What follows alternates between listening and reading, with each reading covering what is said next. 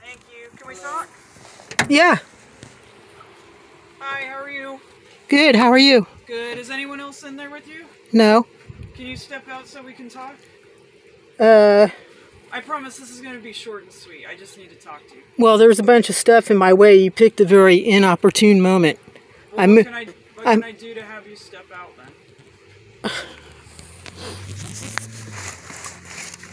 I appreciate it. Thank you.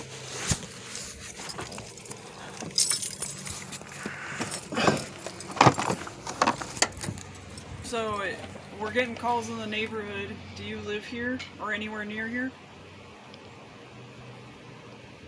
I'm gonna go with the answers no. So we've got folks calling saying that you're moving from spot to spot. So what are we doing that for? Have I done anything wrong? Well, I'll answer your question if you answer mine. Hi. Hi. Are you So, all right? You're what'd you say? shaking. Are you okay? Yeah, you guys are making me nervous. Oh, I'm 62 year old grandmother, okay. moving things around in my van, doing absolutely nothing wrong. Okay, but I And you got two squad cars, three squad cars, three officers. I mean, No, I know. But Rochelle, can you uh, at least respect the idea that I've got a bunch of people that live on the street here and they see a van that they're not familiar with? It's covered up with all the windows and they got someone sitting in it, moving from house to house. Seems kind of suspicious, right? It's the holidays. People get porch thieves. They get people stealing packages. If they don't recognize the van, might be a reason why they're calling the cops, right? I don't think so. Okay. I don't well, think- I'm telling you that. I don't. not- I don't think that like paranoia is a reason to to call the whole squad out out to the neighborhood. Okay. I mean, I'm not that- doing anything, so I think it's kind of a waste of your time and mine. I, am not going to be here very long, Okay. Well, what are we doing? and I'm moving things around in my van because it's freezing cold at night. okay. I'm disabled. I have nowhere to go. What brought you here in the first place, though?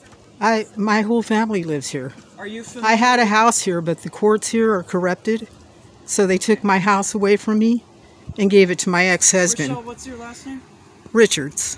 Okay. And my ex-husband poisoned me, Confirming last of Richards versus Rochelle. 1129. and he poisoned me. And then I went to court because I was disabled and couldn't really think or do anything right.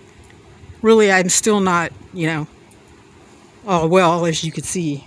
Yeah, no, and, And it's because he poisoned me with arsenic and a bunch of other poisonings. And the courthouse here didn't do anything about it because, You know if she's clear valid or Yeah, I don't know if our dispatcher is that clear. I think that's what she just said. And- It sounded like she she just was confirming first and last. no, but so, anyways, they, the judge and all the people in this town went yeah, to, absolutely. Oh, sorry, Oh, it went to school with my ex husband. So they gave him everything we had together, which was about three million something worth of property here in San Luis Obispo. My house is right over there on Marsh Street. Some other guy's living in there and they sold it to him and signed my deed and my title without my signature and gave it to him. okay. And I was poisoned. So the court won't do anything about the poisoning, but they're busy giving away all my property. Now I'm out here and look what they're doing Yeah, no, and sending you guys out here. so have you ever considered checking in with the homeless shelter there off of Prado? yeah, Okay. I have checked in there before. And how did that work out? Were you able? to... Not very well. So do you understand? Were you evicted from the premise, meaning you can't go back over there, or did you just not like the experience? Uh, no, they kicked me out because I tried to sleep there, and there's one big room with like a whole bunch of bunk beds, Well, now that you have your car, and all the women in there snore, no, and I know. I you couldn't. know that they have a car program though that you can try to sign up for a list to let your car be parked over there. Oh yeah, I know. I'm on the list. Oh, you're on the list. right? Yeah, it. I'm on the list for I was homeless, for housing, and all of that. So, I'm just waiting, Okay. but it could take a while. All right. That's still. So, did we just park over here? Cause I still haven't really gotten a. Because I'm moving stuff around in my van because No, my- no. But why here? There's plenty of other like public places to park, like the Oh, well, areas and because you don't really, you know, you want to try to find a spot where there's not somebody sitting right here on the sidewalk, which is like Fair right enough. here, and public and somewhere you can park where there's not a no parking sign and all of those things. okay. So, you know, I just parked here like 10 minutes ago.